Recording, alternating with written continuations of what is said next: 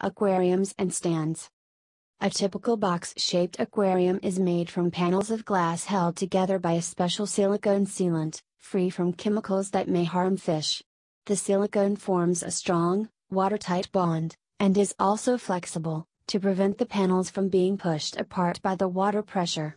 Some aquariums have a protective frame of plastic or metal, although metal is best avoided, since it corrodes.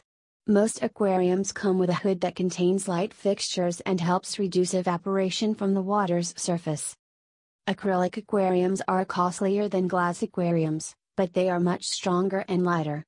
Acrylic is also clearer than glass and a better insulator, so the aquarium loses less heat to the surroundings, but it scratches more easily and is harder to clean.